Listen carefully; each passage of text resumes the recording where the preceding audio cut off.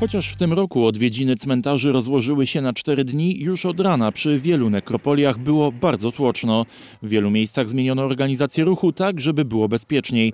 Dla odwiedzających cmentarze 1 listopada to ważny dzień, pełen refleksji, ale też smutku. straszny, taki przygnębiający i no i trzeba tu przyjść, żeby jednak się pomodlić.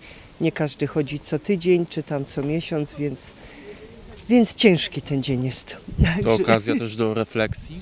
No chyba tak, że, że ludzie całe życie pracują, szarpią, gonią i, i jest koniec i wszyscy idą do jednego grobu. Bardzo ważne, bo rodziców nie mamy, brata już też nie mam, dlatego dla nas jest bardzo ważny dzień. Dziś cmentarze są pełne kolorów, trudno znaleźć grób, na którym nie ma kwiatów i zniczy. Wybór tego, czym stroimy groby, jak co roku jest podobny. Klasycznie chryzantemy, wiązanka i znicze, podstawa. chryzantemy no, i no, lampiony też i to wszystko, co więcej nie.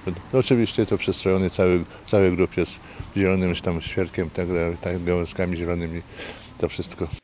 I choć święto wszystkich świętych wygląda co roku podobnie, to tegoroczne różni się od poprzednich, głównie cenami. Szalejąca inflacja daje się we znaki również przy zakupach zniczy i kwiatów. Choć wiele osób kupiło je dużo wcześniej, to sprzedawcy przy cmentarzach mieli dziś ręce pełne roboty. poszły w górę, ale niestety rodzicom trzeba dać. Rodzice nas wychowali, także jesteśmy wdzięczni, że także trudno się mówi, ale no się kupuje. Dzisiaj bardzo dużo osób, bardzo, bardzo, bardzo dużo. I jak widać mamy straszny kocioł dzisiaj.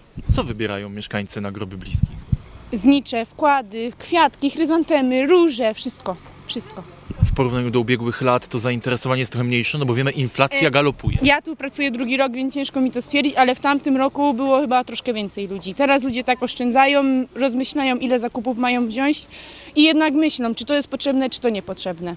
No, biorą najpotrzebniejsze rzeczy. Dziś cmentarze w całym kraju będą wyglądać pięknie, jednak dla wielu ludzi Dzień Wszystkich Świętych nie ogranicza się tylko do ozdobienia grobów bliskich. To również, a może przede wszystkim, głębsze przeżycie duchowe.